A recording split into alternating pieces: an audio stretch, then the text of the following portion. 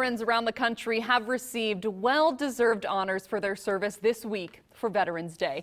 But one local veteran received a very special reward tonight for his service and sacrifice. KMTV Action 3 News reporter Kim Foley is live at the CenturyLink Center with that story new at 10 tonight. Kim?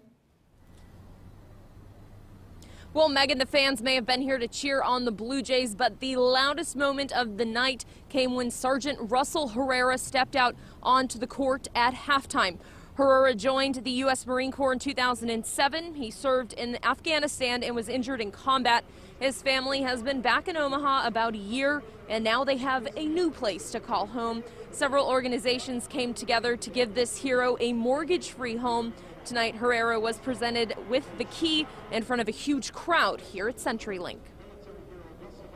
Oh, it was amazing. It was uh, really humbling, humbling experience just to see, you know, so many people come together and uh, you know make something like this happen for for anybody for you know for that matter not let alone a vet.